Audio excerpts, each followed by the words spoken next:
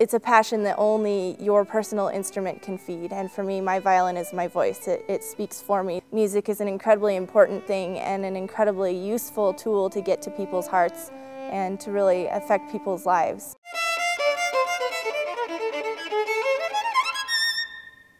The students here are, incredibly talented and it's not just one group, um, it's not just violinists or you know just performance majors.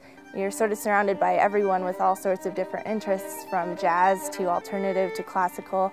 Um, in, the, in the actual violin studio it's very motivating and inspiring because the students there are, it's like a big family and um, they sort of really support everyone else.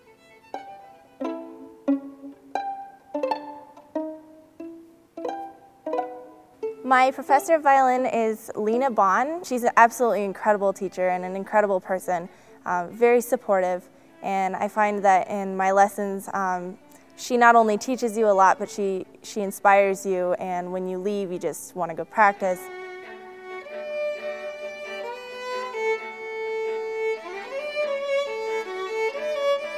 The entrepreneurship program here at the music school is fantastic. Uh, a lot of times it's kind of scary thinking about pursuing your career in music because you don't know where to go from college. Uh, you just have to get out in the world and do it.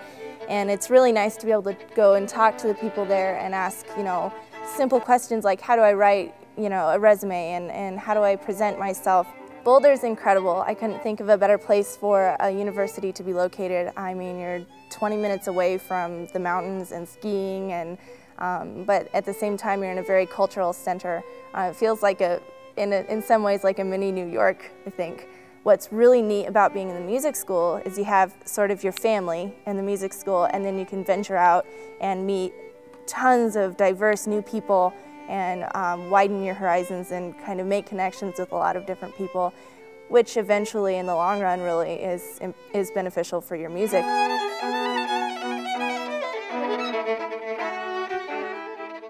I, I, definitely have more than just passions in music. I have passions in other things as well.